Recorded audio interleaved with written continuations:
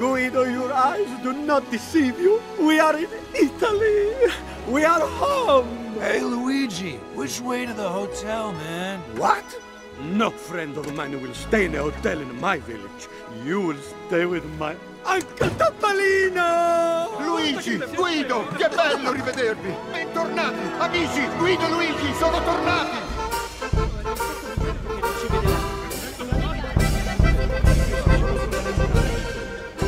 How did they do it? These are the same ingredients as back home, but it tastes so good. It's organic, man. Tree hugger.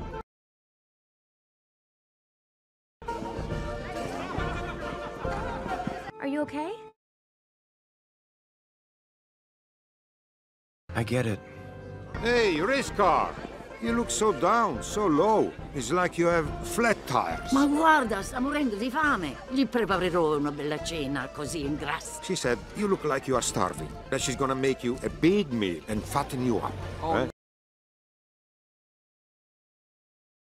No. Uh, Mama Topolino, please, you, you don't need to make a fuss. Um, Capisco. I understand. Is a problem, yes? Between you and the friend?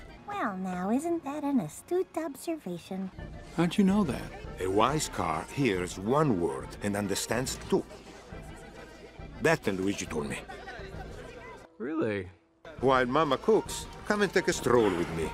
I brought my friend Mater along on the trip, and you know, I told him he needed to act different, that we weren't in Radiator Springs.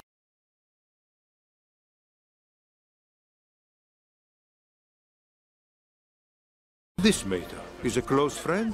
He's my best friend. Then why would you ask him to be someone else?